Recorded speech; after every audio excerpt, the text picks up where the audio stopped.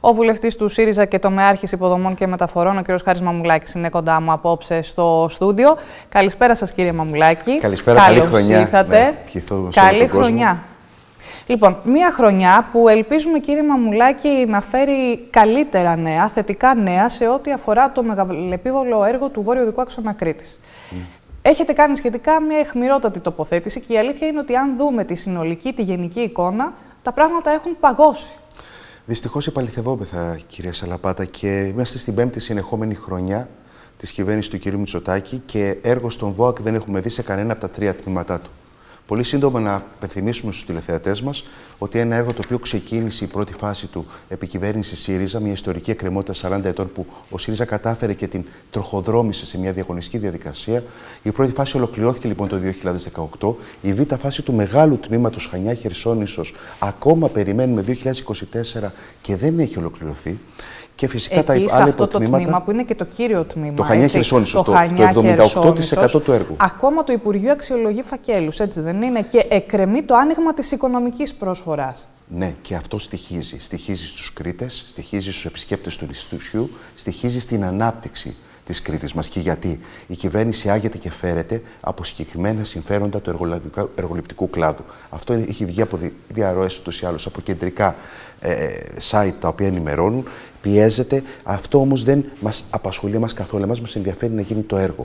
Πιέζεται και αυτό πληρώνουμε. Ω προς ποια κατεύθυνση, Ώστε να το κατευθύνει το έργο προς μία, επειδή είναι ανταγωνιστικός διάλογος και είναι έργο mm παραχώρησης και δεν αφορά mm την έκπτωση αυτή καθ' αυτή, είναι άλλα τα τεχνικά χαρακτηριστικά που θα προκληθούν. Και εκεί είναι και το πρόβλημα ουσιαστικά. Αλλά κυρίως το πρόβλημα είναι ότι αυτή η κυβέρνηση άγεται και φέρεται και εξαρτάται βαθύτατα από συγκεκριμένα ε, εργολαβικά συμφέροντα που την χάνει να είναι και ιδιοκτήτες μεγάλων μέσων ενημέρωσης. Είναι μια αλήθεια που πρέπει να την πούμε στον κόσμο. Τώρα, για το έργο όμως, που είναι σημαντικό.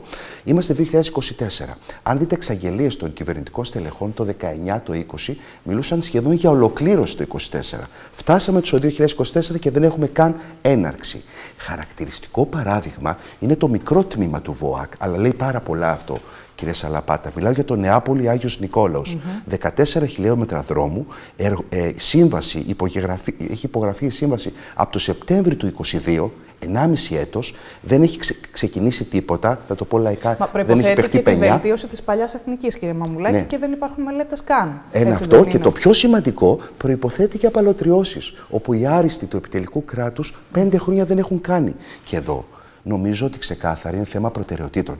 Το λέω με όσο πιο ήπιο τρόπο μπορώ. Αν ήταν προτεραιότητα ο ΒΟΑΚ, τώρα θα, είχε, θα είχαμε πραγματικά έργο και θα, την, θα έτεινε προς την ολοκλήρωσή του. Δυστυχώς οι προτεραιότητες του κ. Μητσοτάκη και της κυβέρνησής του δεν είναι ο ΒΟΑΚ. Και αυτό φαίνεται με τον πιο ξεκάθαρο τρόπο. Απαλωτριώσει να μην έχουν τη συνετελεστεί 1,5 χρόνο μετά τη σύμβαση. Καταρχήν, πώς έκαναν διαγωνισμό χωρίς να έχουν κλείσει αυτή τη βασική θεμελιώδη εκκρεμότητα. Ε, Άρα για τα επόμενα τέσσερα χρόνια δεν πρόκειται να δούμε καμία βελτίωση τουλάχιστον σε ό,τι αφορά το επίμαχο τμήμα, έτσι δεν είναι; Ε, θα σας πω. Ο στόχος και ο ρόλος ο δικός μας ως θεσμική αξιωματική αντιπολίτευση και εμένα προσωπικά ως τομεάρχης υποδομών και μεταφορών είναι να πιέσω να είμαι χρήσιμος με την πίεση που θα ασκηθεί, τεκμηριωμένη, να, να κινήσει επιτέλους το έργο. Δεν έχουμε δογματισμούς. Το έργο αυτό το θέλουμε όλοι να το δούμε. Να θωρακίζει ζωές. Χάνονται τόσα, τόσοι, τόσοι συνάνθρωποι μα στους δρόμους. Αλλά πρέπει επιτέλους να το δει ζωηρά η κυβέρνηση και όχι να βλέπει τον, τον οικονομικό και μόνο παράγοντα. Το λέω αυτό διότι στον τμήμα το μικρό του Νεάπολη Άγιος Νικόλαος, το έργο θα κοστίσει 10 εκατομμύρια ευρώ το τρέχον χιλιόμετρο. Πρόκειται για τον ακριβότερο δρόμο στην Ευρώπη. Κοιτάξτε, το έργο, το, το έργο πρέπει να γίνει. Εμείς θα βάλουμε πλάτη όσο οφείλουμε, αλλά θα κάνουμε και την κριτική μας επίσης οφείλουμε και έχουμε υποχρέωση απέναντι στον κριτικό Πάντως, λαό. Πάντω με το υφιστάμενο budget δεν βγαίνει το έργο. Αυτό το έχει πει και ο Περιφερειάρχης Κρήτης αυτό το πράγμα. Το μεγάλο τμήμα είναι ναι. κοινή παραδοχή πια. Το μεγάλο τμήμα ναι. ναι. Έχει γίνει κακή κοστολόγηση από την κυβέρνηση το 2019 που ε, ουσιαστικά τα τεύχη δημοπράτηση ή ο τρόπος με τον προπολογισμό εκπονήθη. Ήταν λάθος. Έγινε με πρόχειρο τρόπο και εδώ και πληρώνουμε αυτές τις προχειρότητες ε, του Αυτό το τμήμα, κράτους. κύριε Μαμουλάκη, μπορεί να το αναλάβει μία εταιρεία; Είναι κοινοπρακτικά σχήματα. Έχουν προκριθεί ήδη τρία κοινοπρακτικά σχήματα από την εποχή του ΣΥΡΙΖΑ.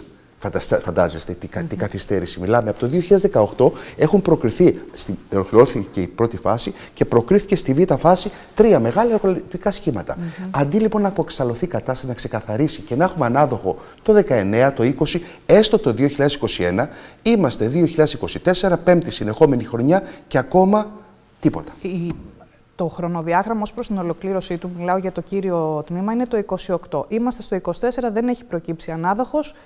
Εάν και εφόσον θα είναι σε ένα χρόνο, αλλά και πάλι και να προκύψει ανάδοχος, κύριε Μαμουλάκη, δεν ξεκινούν κατευθείαν τα έργα. Απαιτείται επιπλέον χρόνος. Επιπλέον χρόνος, μελέτες εφαρμογής, πολλά ζητήματα τα οποία σημειακού χαρακτήρα πρέπει να επιληθούν. Ένα δύσκολο τεχνικό έργο, αναμφίβολα. Άρα νομίζω ότι ήδη είμαστε εκτός χρονοδιαγράμματος με απόλυτη ευθύνη της κυβέρνησης και έχουμε και ένα μικρό. Θα χαθούν χρήματα. Πάμε για στα χρήματα. Τα χρήματα τα περισσότερα λόγω πουδουέ και διοδίων που επιβλήθησαν προφανώς δεν χάνονται υπό αυτή την έννοια. Όμως έχουμε και 200 εκατομμύρια τα οποία προέρχονται από το Ταμείο Ανθεκτικότητος και Ανάκαμψης, το γνωστό mm -hmm. RRF. Όπως ξέρετε, 31 Δεκάτου του 2025 πρέπει να έχει απορροφηθεί το ποσό αυτό. Άρα, ναι, τίθεται επικίνδυνο γιατί είναι πολύ δύσκολο να έχουμε απορρόφηση μέσα σε, σε 19-20 μήνες από σήμερα.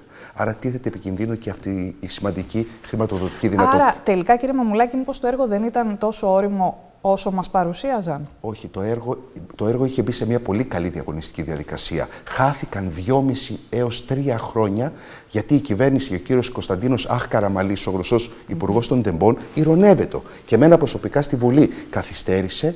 Ε, χάθηκαν δύο χρόνια, κερδίσαμε βέβαια διόδια, το λέω φλεγματικά, αλλά δυστυχώς ήταν αυτό, το, αυτό πληρώνουμε. Την αβελτηρία, την καθυστέρηση, την κολυσιεργία των δύο πρώτων ετών.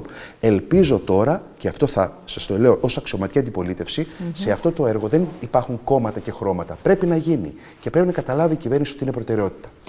Λοιπόν, να κλείσουμε το κεφάλαιο του Βορειοδικού Άξονα Κρήτη, να έρθουμε λίγο στο αμυγό πολιτικό σκέλος. Μια παρέθεση εδώ και κλείνω για, ναι. για τα της Κρήτης, που είναι πάρα πολλά τα ζητήματα των υποδομών και μεταφορών. Και τώρα με την ανάληψη των καθηκόντων μου παρακολουθώ ένα προς ένα τα έργα και τα χρονοδιαγράμματα. Υπάρχουν και πολλά άλλα ζητήματα, όπως αντιπλημμυρικά έργα, κάθετοι άξονες, έργα υδάτινων πόρων, στερεών αποβλήτων. Πολλά έργα τα οποία δυστυχώς δεν επιταχύνονται ως πρέπει, δεν υπάρχουν απορροφήσεις, είμαστε εκτός χρονοδιάγραμματος σε πολλά από αυτά.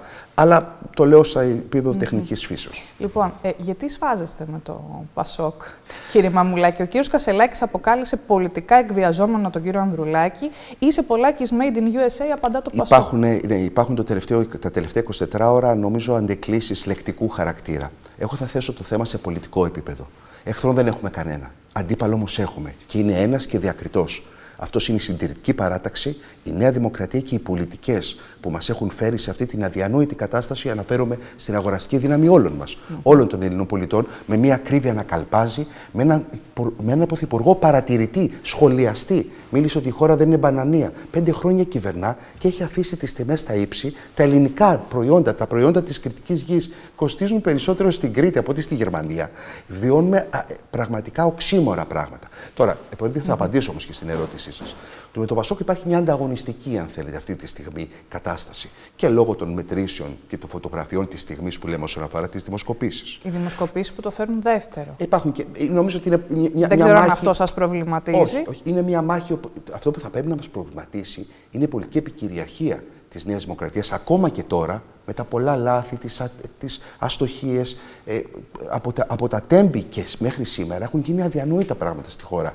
Υποκλοπές, τέμπη, ε, πυρκαγιές, ε, ο Ντάνιελ, ε, οι πλημμύρες στη Θεσσαλία, ακρίβεια πάνω απ' όλα.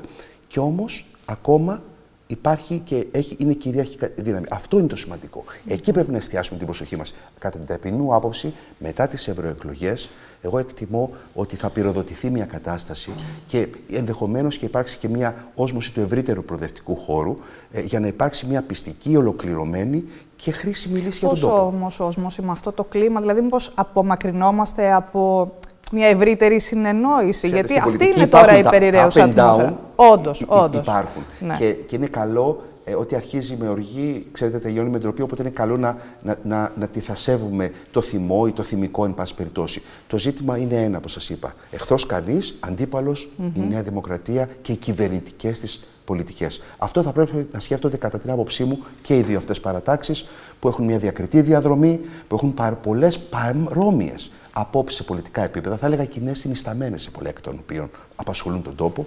Ε, και νομίζω με αυτό το γνώμονα πρέπει να προχωρήσουμε στο Μάλιστα. αύριο. Λοιπόν, πώς βλέπετε το θέμα της κομματικής πειθαρχίας που έθεσε ο κύριος Κασελάκης; Αναφέρομαι στο ζήτημα με τα ομόφυλα ζευγάρια. Είχαμε πριν, από λίγα λεπτά, ναι, ναι, είχαμε πριν από λίγα λεπτά ένα tweet, διευκρινιστικό tweet του Πρόεδρου Στέφανου Κασελάκη, όπου θέτει ουσιαστικά το ζήτημα σε μια βάση, ε, κατά την άποψή μου, ρεαλιστική. Η κομματική πειθαρχία σε ένα, σε ένα κόμμα προοδευτικό και εντοραριστερό δεν υφίσταται δεν υφίσταται διαχρονικά. Πολλό δε μάλλον ήταν αντιπολίτευση. Αυτό διευκρίνησε. Άρα γιατί, γιατί χρειάστηκε να το κάνει; Ε, νομίζω δηλαδή η διευκρίνηση του, του ΣΤΑΡ ήταν μια διευκρίνηση για να ξεκαθαρίσει το τοπίο. Μάλιστα. Αυτό που βιώνει η κυβερνόσα παράταξη είναι κάτι καινοφανές για τα πολιτικά ήθη και δρόμενα της μεταπολίτευσης. Το λέω γιατί.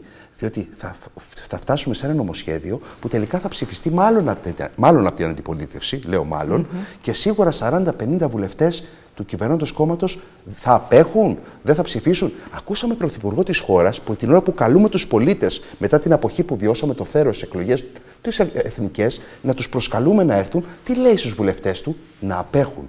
Πραγματικά τι μήνυμα είναι αυτό; Είδα, είδα και τον κύριο Σαμαρά στο ρεπορτάζ πριν από λίγο που καλύψατε, που ουσιαστικά έθιξε το ζήτημα αυτό. Mm -hmm. Θέλω να πω λοιπόν ότι είναι κομβικά θέματα. Η Νέα Δημοκρατία βρίσκεται σε βέρτικο. Δεν ξέρω γιατί επιτάχυνε αυτή τη διαδικασία για να φέρει αυτό το νομοσχέδιο αυτή τη χρονική στιγμή. Μπορεί να φανεί στο μέλλον, αλλά σίγουρα έχει προκύψει μια παράδοξη κατάσταση. Το βιώνει και μέσα στο Κοινοβούλιο αυτή τη βδομάδα από τα κυβερνητικά στελέχη. Άρα, όποιος παρεκκλίνει από εσάς, κύριε Μαμουλάκη, θέτει αυτόν εκτός κόμματος ή όχι; Όχι, όχι. όχι. όχι. Στις πέτσες θα πάτε όλοι; Νομίζω πώ θα πάμε. Οι τομεάρχες είναι κάτι το οποίο είναι και, και επίσης καινοφανές, δεν είναι κάτι κοινότυπο.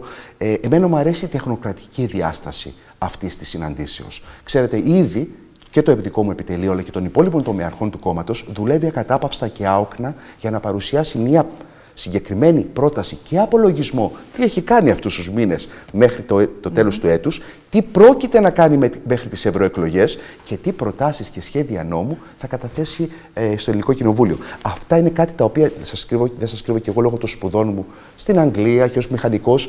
Ε, αυτά τα τεχνοκρατικά είναι, είναι που τα χρειαζόμαστε και στην αριστερά και στην κέντρο αριστερά γενικότερα. Ήταν κάτι που έλειπε και αυτό είναι κάτι θετικό. Μάλιστα. Λοιπόν, εγώ να σας ευχαριστήσω πάρα πολύ που βρεθήκατε απόψε στο στούντιο της Κρήτη TV. Ευχαριστώ. Να είστε καλά, καλή συνέχεια. Καλή χρονιά σε όλους με υγεία. Καλή χρονιά.